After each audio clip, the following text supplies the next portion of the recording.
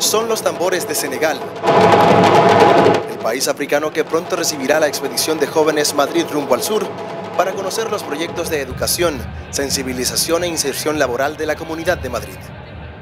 En primer lugar, las ganas de ayudar y de involucrarme en un, en un programa como este que alcanza tantas dimensiones, dimensiones internacionales y que nos permite vivir de primera mano, que es conocer a otra cultura, a otras personas, otras sociedades. Que me cambie como persona porque yo la verdad que nunca he cooperado y siempre he vivido en un ambiente cómodo y la verdad que me gustaría ver eh, las desgracias para poder ayudar. Se trata de un programa de cooperación que busca fomentar el espíritu solidario de los jóvenes madrileños.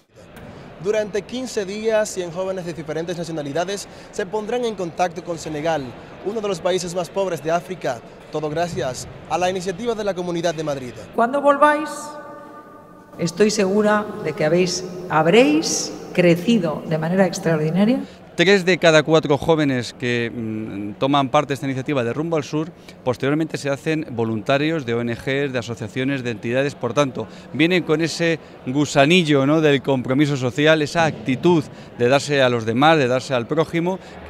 Un equipo de médicos, bomberos, profesores y socorristas durante 15 días guiará a los estudiantes que han superado un arduo proceso de pruebas físicas y de entrenamiento.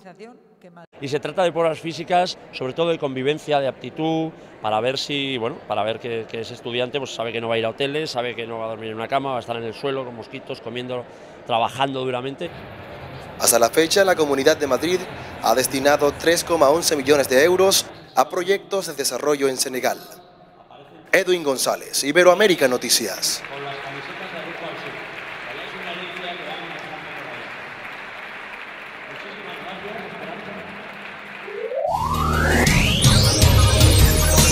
Ow!